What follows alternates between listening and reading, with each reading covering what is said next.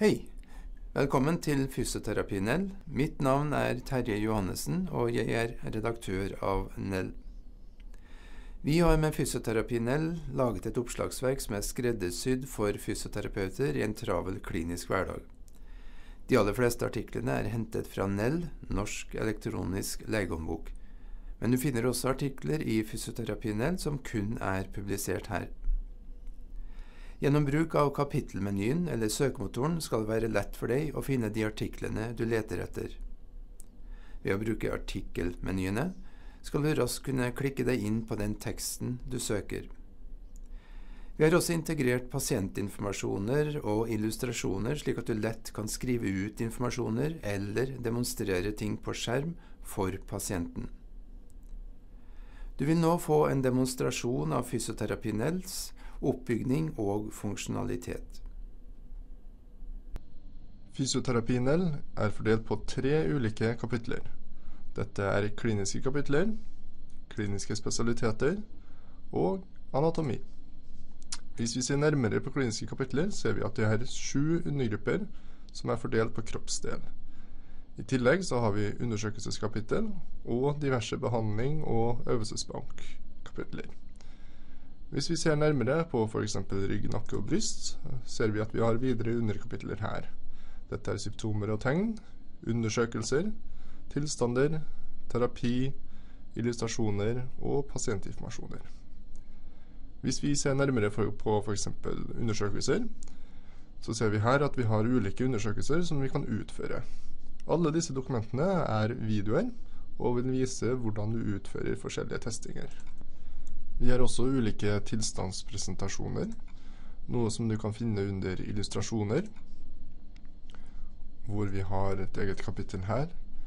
Hvis vi da f.eks. ser under kronisk beskytt, så vil det være en egen, eget dokument som forklarer hvordan en kronisk beskytt vil opptre, og hvordan man da f.eks.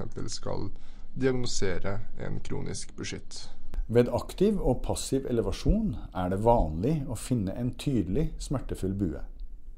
Det oppfattes som et viktig kriterium for å begynne å tenke på en kronisk beskytt som diagnose.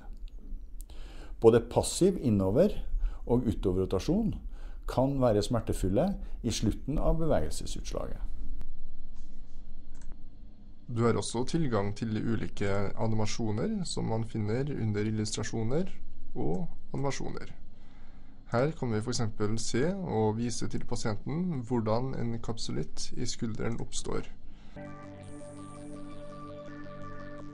Ettersom leddet blir stadig strammere og stivere, vil enkle bevegelser som det å heve armen bli vanskelig. Hvis betennelsen forekommer i selve kapselen, vil skulderbena ikke være i stand til å bevege seg i leddet. I noen tilfeller kan pasienten være ute av stand til å bevege skulderen i det hele tatt. Du har også tilgang til ulike pasientinformasjoner som du kan bruke for å informere pasienten om diverse skader og tilstander. Det er også en egen, spesifikk pasientinformasjon som omhandler kun trening. Dette kan være treningsråd ved ulike sykdommer, men også generelle treningsråd. Videre så har du også tilgang til styrkeøvelser som pasienten kan utføre. Disse dokumentene gir en ganske fyldig innføring i hvordan pasienten skal utføre øvelsen, samt hvorfor man kan trene øvelsen, hvilken eh, funksjon som kan bedres, og hvilke muskler som trenes.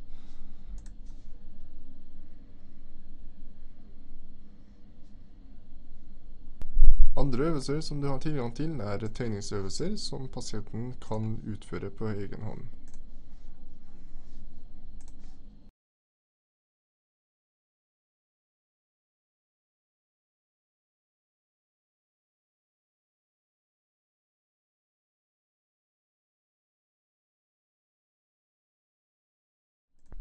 Du vil også ha tilgang til anatomidokumenter. Disse vil vise både muskelutspring og feste og ulike funksjoner, samt vanlig anatomisk informasjon, medfølgende enkelte bilder, men også hvordan man palperer den ulike delen av muskelen, og hvordan man gjør styrketesting. Når det gjelder å orientere seg innenfor et enkelt dokument, så har vi prøvd å gjøre dette på en så lettvint måte som mulig. Når vi nå er innpå dokumentet 'skuldersmerter', som ligger under symptomer og tegn på skulder og overarm, så ser vi at selve dokumentet er veldig omfattende. Det er veldig mye informasjon, og det kan være vanskelig å ha tid til å gå gjennom all denne informasjonen på en gang. Derfor så har vi på venstre side en meny som gjør det lettere å håndtere. Hvis man kun er ute etter den kliniske undersøkelsen, så kan man klikke der, og man går direkte til den kliniske undersøkelsen. Hvis det er kun funksjonsundersøkelsen man trenger, så får man opp det som et nytt valg under der. Og man kan gå rett og se de undersøkelsene man trenger å gjøre. Kjære bruker av Fysioterapinell. Vi håper at du med denne gjennomgangen har fått innsikt i strukturen og funksjonaliteten til Fysioterapinell. Et slikt produkt blir aldri ferdig. Vi ønsker derfor din hjelp til å gjøre produktet bedre. Benytt deg av muligheten til å sende e-post til redaksjonen om ønsker og eventuelle mangler. Lykke til med Fysioterapinell.